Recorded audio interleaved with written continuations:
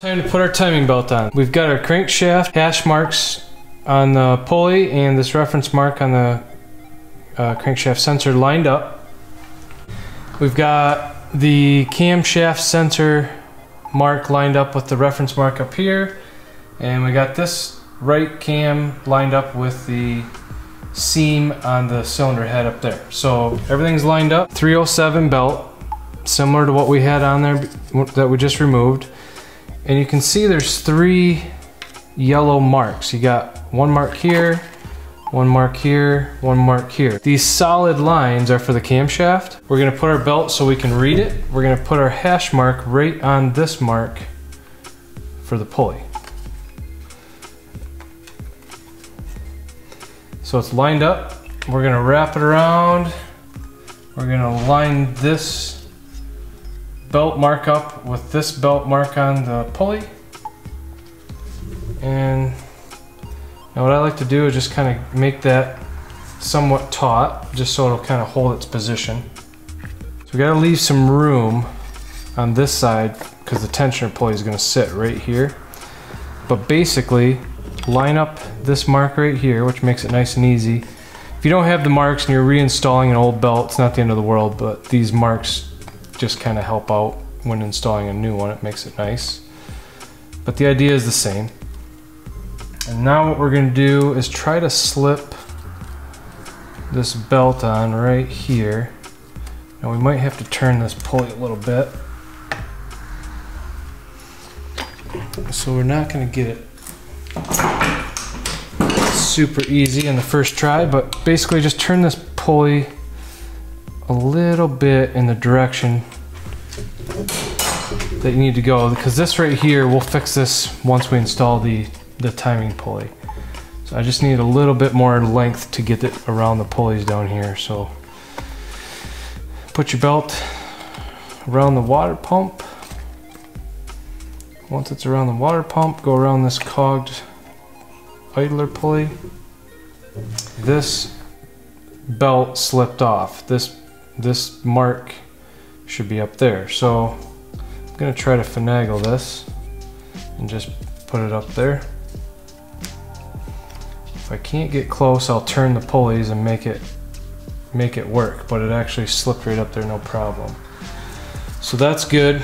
So now what we need to do is get our tensioner. To get this pulley in as easy as possible, it can be tricky. What we need to do is make this belt right here as, as loose as we possibly can, which means we're gonna need to tighten this up a little bit here and tighten this up a little bit here. So that means we're gonna turn this cam just a little bit counterclockwise and tighten everything up. So now everything's tight. And we've got as much play as we can get right here. There's no pulley here. So this, doing all that together will usually help this tensioner slide in. So now when you put this tensioner in, this is a brand spanking new one from Aisin. So it's got a new washer, it's got the new uh, O-ring on it. Most all of them do, no matter where you get them from, but once again, just don't use anything but Aisin or Subaru. And now you gotta slide it in here and you gotta line the bolt up and make sure it's square before you spin it in because these are aluminum threads and this is a steel bolt.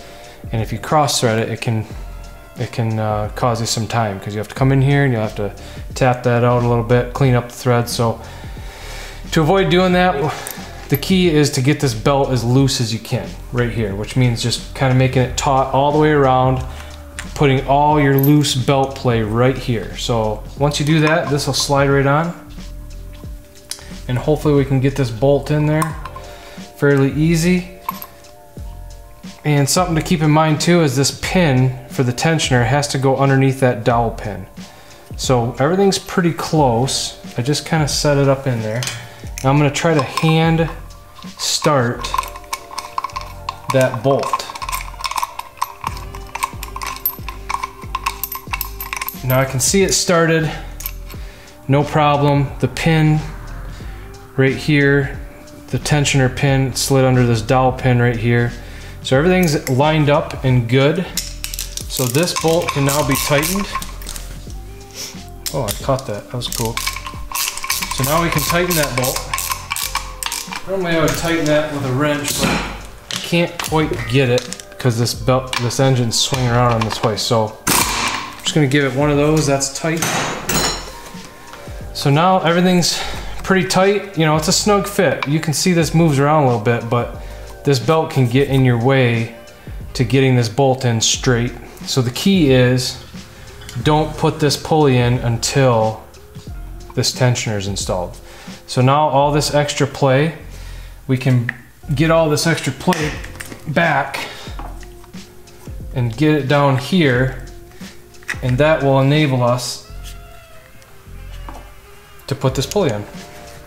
So now we slide this in. And if you can see that bolt hole it's lined up really easily. So we hand start that bolt and we tighten it up. Done. One last thing. Pull your pin. And that's just a little kind of a grenade pin. Once that's pulled this hydraulic tensioner has a spring in here and it's actually going to push against that dowel pin and it'll keep this belt tight for 100,000 miles.